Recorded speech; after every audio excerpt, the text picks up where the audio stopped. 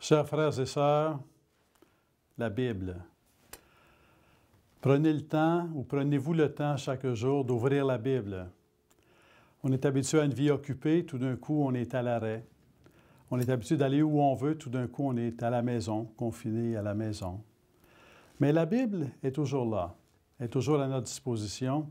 Ce que je vous propose, c'est chaque jour, choisissez-vous un temps, ouvrez la Bible, lisez-la tranquillement. 15 minutes, 30 minutes, pas plus.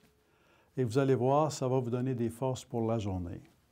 Les forces dont on a besoin aujourd'hui en étant en incertitude que nous visons dans cette pandémie.